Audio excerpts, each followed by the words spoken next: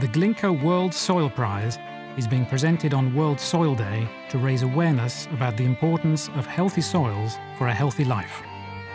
As the drive to end soil degradation gains traction on the global agenda, some positive examples can be showcased. The Glinka World Soil Prize is named after Konstantin Glinka, a prominent Russian soil scientist known for his work on the geographical distribution of soils. The prize honours notable individuals or organisations who promote sustainable soil management and the protection of soil resources having a direct impact on the well-being of populations. The annual World Soil Prize comes in the form of the Glinka Medal and 15,000 US dollars.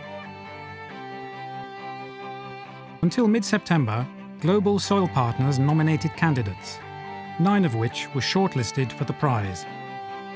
The World Soil Prize Selection Committee wishes to announce this year's winner is Instituto Geográfico Agustín Codazzi of Colombia, champion of a generation of stakeholders and soil fieldwork practitioners.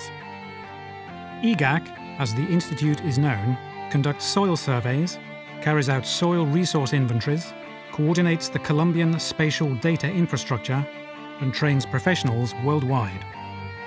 By placing geography at the forefront of advanced geographical research and modelling programs, IGAC is rapidly modernising geospatial technologies in Latin America. True to its mission, IGAC concluded a study in less than three years that sheds light on Colombian soils, their morphology, and complex economic and social context. Soils and Lands of Colombia, IGAC's groundbreaking study, has been featured by news outlets worldwide.